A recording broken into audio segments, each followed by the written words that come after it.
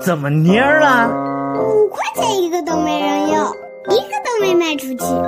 出师未捷，身先死啊！家里不要的玩偶，啥时候才能卖出去？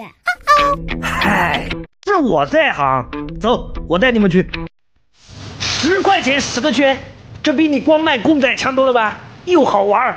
哇，爸爸，你的小脑瓜子真聪明。来，吆喝起来！十块钱十个圈啊，货真价实啊，童叟无欺啊！这里不让赔，赶紧走！哎，挣钱咋这么难呢？难就对了，迎难而上才会更快成长。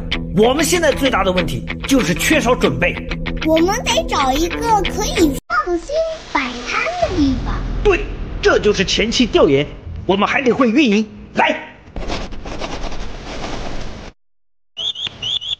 送回来，广告词儿，招揽客户的。哇，当之无愧的老六啊！棒！